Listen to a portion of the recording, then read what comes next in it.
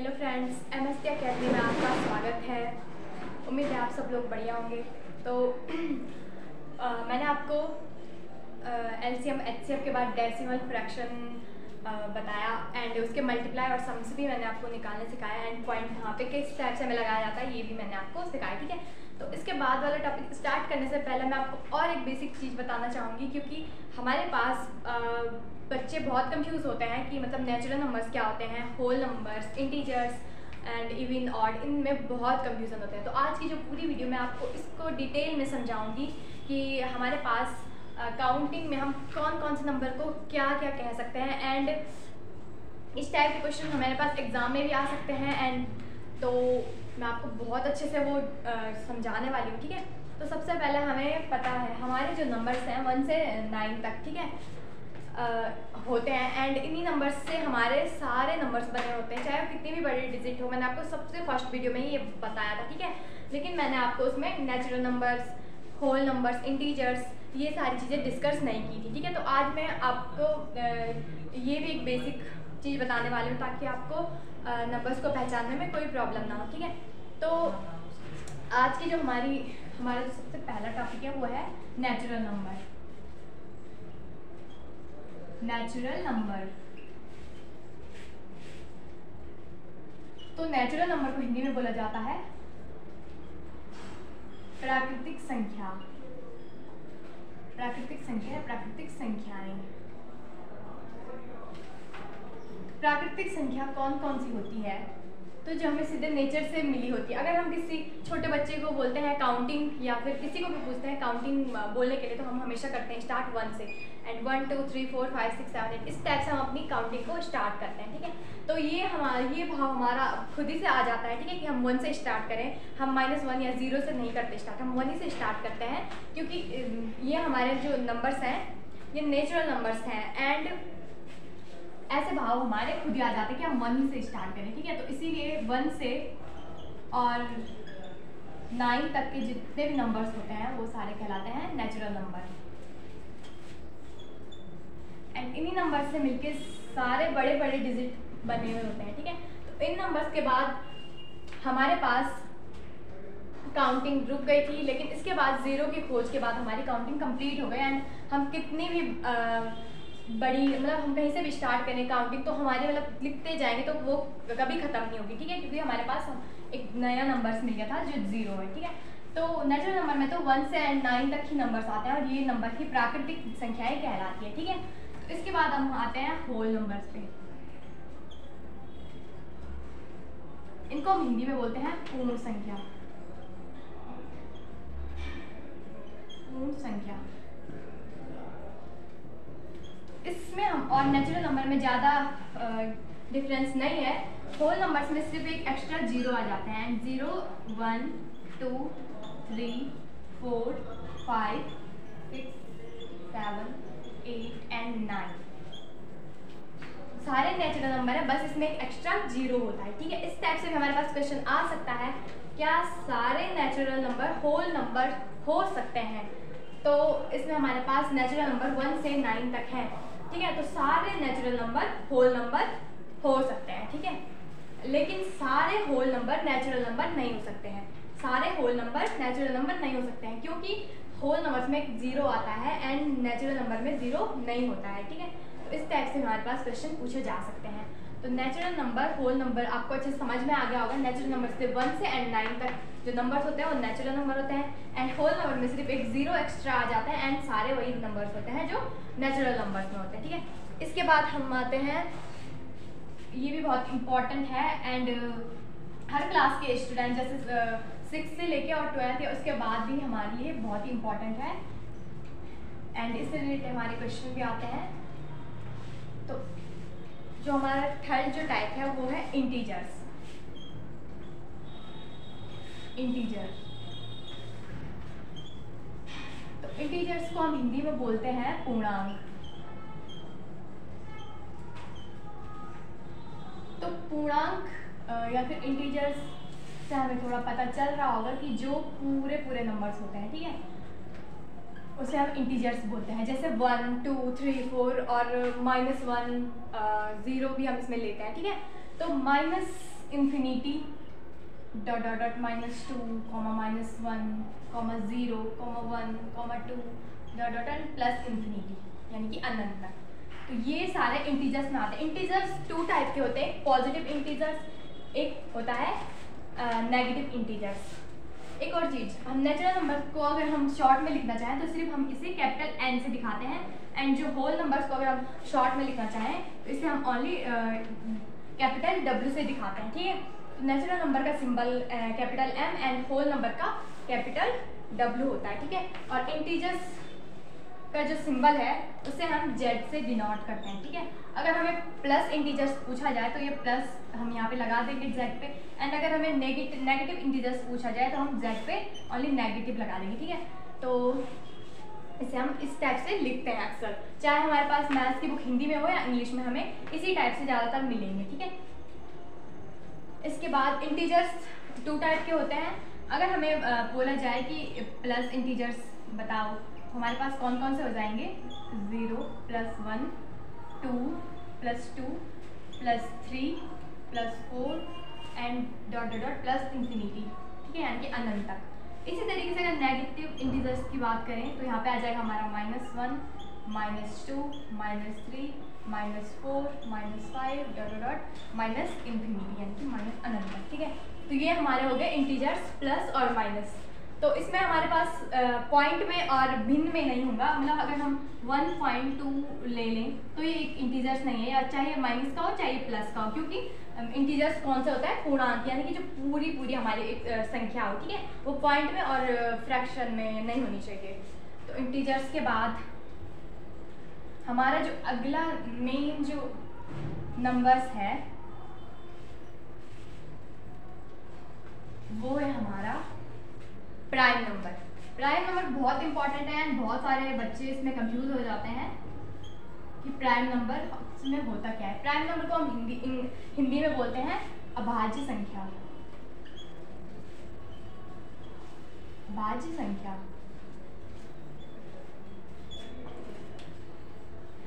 इसमें भी हम एक्चुअली बहुत सारी मतलब हम बता तो देते हैं, लेकिन कभी कभार हम इसमें कंफ्यूज हो गए गलत नंबर्स को भी बताते हैं कि ये प्राइम नंबर हो सकता है। तो प्राइम नंबर कौन सा हो सकता है?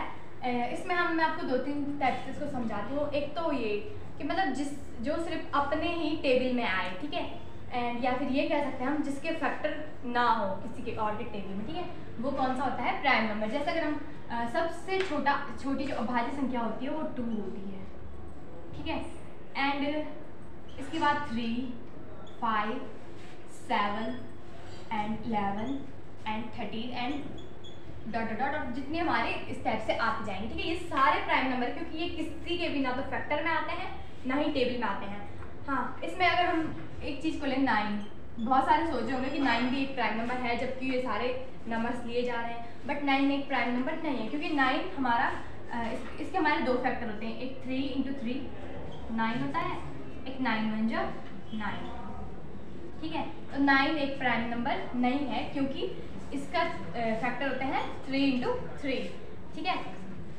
तो ये सारे ऐसे नंबर्स हैं जिनके फैक्टर नहीं होते हैं, या फिर जो किसी के भी टेबल में नहीं आते हैं, चाहे फाइव फाइव को आप इससे ज़्यादा छोटा नहीं तोड़ सकते सेवन को भी आप इससे ज़्यादा नहीं तोड़ सकते इलेवन को भी नहीं थर्टीन को भी नहीं, ठीक है? लेकिन अगर हम फोर की बात करें तो फोर को हम लिख सकते हैं two into two and six की बात करें सिक्स को भी हम लिख सकते हैं थ्री इंटू टू एट को भी हम लिख सकते हैं फोर इंटू टू और नाइन को भी हम लिख सकते हैं थ्री इंटू थ्री टेन को भी हम लिख सकते हैं टू इंटू फाइव और ट्वेल्व को भी लिख सकते हैं six into two and four into three इसी तरीके से थर्टीन इलेवन सेवन फाइव इनको हम और छोटा नहीं लिख सकते हैं। इसके क्या आगे हम सेवनटीन नाइनटीन हो गया, बहुत सारे ये ऐसे नंबर्स होते हैं प्राइम नंबर जो किसी के भी टेबल में ना आए या फिर हम जो सिर्फ़ खुद के ही टेबल में आए या फिर जो सिर्फ़ वन के साथ ही मल्टीप्लाई करने पे खुद ही अपनी ही संख्या मतलब जैसे थर्टीन वन जो थर्टीन और इसको हम इससे छोटा नहीं तोड़ सकते हैं फैक्टर नहीं कर सकते हैं। तो ये सारे नंबर होते हैं प्राइम नंबर इसके आगे सेवनटीन नाइनटीन हो गया और ट्वेंटी थ्री हो गया, ये सारे नंबर प्राइम नंबर यानी कि अभाज्य संख्याएँ हैं, ठीक है? और अगर ये इस इस प्राइम नंबर में हमारा क्वेश्चन पूछा जा सकता है कि सबसे छोटा प्राइम नंबर कौन सा है तो सबसे छोटा प्राइम नंबर है टू ठीक है? सबसे छोटा प्राइम नंबर है टू इसके बाद हमारा आता है composite number.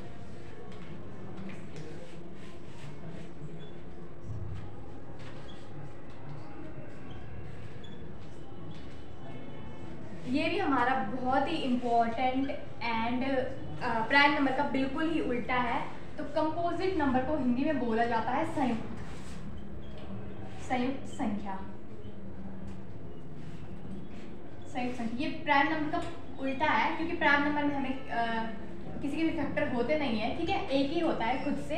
And composite number में वे नंबर्स आते हैं, वे सारे संख्याएँ आती हैं जिनके दो या दो से ज़्यादा फैक्टर हो सकते हैं। तो सबसे छोटा हमारा कंपोजिट नंबर है फोर इसके बाद ले सकते हैं हम सिक्स इसके बाद ले सकते हैं हम एट नाइन टेन ट्वेल्व तो ये सारे नंबर हमारे कंपोजिट नंबर है। सबसे छोटा कंपोजिट नंबर कौन सा है? फोर क्योंकि फोर के कितने फैक्टर होते हैं? टू इसे हम लिख सकते हैं टू इंटू टू एंड इसे एक बार लिख सकते हैं फोर वन जा फोर तो टू इंटू टू होता है four and four into one होता है फोर तो uh, सबसे छोटा कंपोजिट नंबर है फोर इसी तरीके सिक्स को भी हम लिख सकते हैं थ्री इंटू टू एट को भी लिख सकते हैं फोर इंटू टू नाइन को भी लिख सकते हैं थ्री इंटू थ्री तो जिसके हमारे फैक्टर यहाँ तो हमारे सब दो ही आ रहे हैं ठीक है? लेकिन अगर हम ट्वेल्व की बात करें तो ट्वेल्व के कितने आ जाएँगे? थ्री आ जाएँगे. जैसे कि हम इसे लिख सकते हैं six into two and three into four and twelve into one तो इसके कितने फैक्टर आ रहे हैं? तीन. तो मतलब वो सारी संख्याएँ जिनके दो या दो से ज़्यादा फैक्टर होते हैं, वो होते हैं कंपोजिट नंबर यानी कि संयुक्त संख्याएँ, ठीक है? और, इसके बाद हमारा जो इम्पोर्टेंट नंबर है, वो सबने सुना होगा एंड सबने पढ़ा होगा एंड बहुत, उसमें भी बहुत सारे कंफ्यूज हो जाते हैं। क्योंकि इसके बाद वाला जो नंबर है एविन और ऑड ये बहुत ही सिंपल एंड हर जगह हर उसमें यूज़ होता है। इविन नंबर इविन नंबर को हम हिंदी में बोलते हैं सम संख्या